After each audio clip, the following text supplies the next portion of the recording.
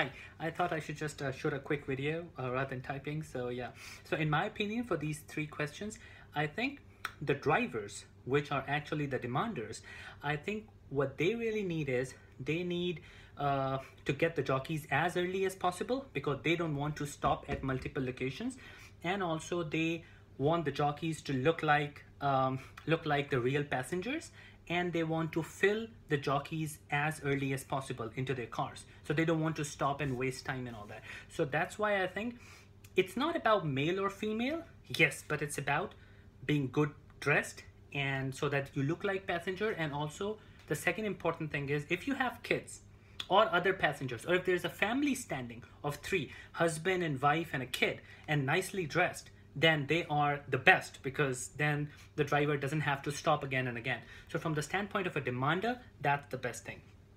Um, female with kids, yes, maybe preferred because they look, uh, if they're dressed well, they might look like a family member. So that may be a case. Uh, but uh, but it, it doesn't really matter whether whether they're kids or no kids. What matters is that that, that the jockeys have to be have to be quickly available to the driver so he doesn't have to stop and they should look like passengers. So that's that's my two cents. Yeah